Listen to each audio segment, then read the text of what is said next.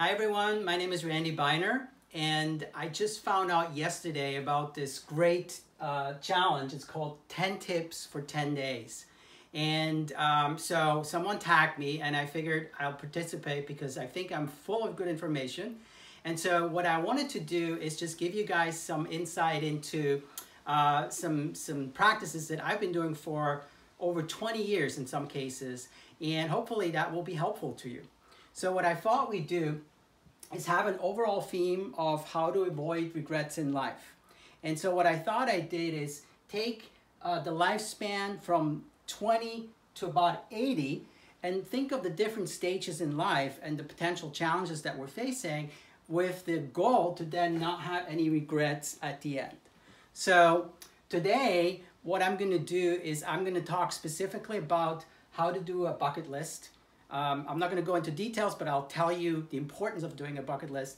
And then in other days, we're going to talk about the moral compass, how to avoid a quarter life crisis, the best marriage advice ever, uh, important life decisions and how to make them, how to avoid the midlife crisis, the power of thank yous, and then we'll finish up with time posting. So, um, and this kind of builds on top of each other, so it'd be great if you could follow me every single day. And if not, uh, you can uh, so certainly watch the videos after. So today we're going to talk about bucket list. So this is actually my bucket list.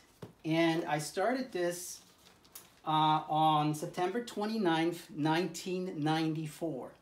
So this is still the original binder and everything, yellow paper, notepad. Um, and so what I did is I realized that if I don't uh, follow my dreams, I'll never achieve them. If I don't know what my dreams are, I will never achieve them. So I put myself in the mindset of if I had unlimited time, unlimited money, to support my family and no fear, what are some of the things I would want to do in my life? And so what I ended up doing is just taking a piece of paper and start writing.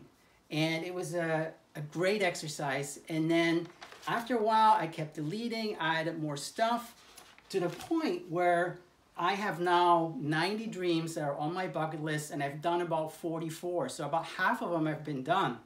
Everything from seeing the pyramids in Egypt to uh, snorkeling with a whale shark to uh, diving the barrier reef. So I've done some really cool things um, and I've been very blessed. Uh, so I want to pass this knowledge on to you guys it's never too late to start a bucket list. It's just really important that you have one. Because again, what you don't want, you don't want to have any regrets when you're 80 and you don't have the time or the money or the health to do these things anymore. So um, I hope this is helpful. There's obviously a, a, real technique on how to build a bucket list. Today, my message was just go today and start one. And if you want to learn more about the techniques, please message me directly. And I hope you'll tune in tomorrow when we talk about the moral compass. Thank you.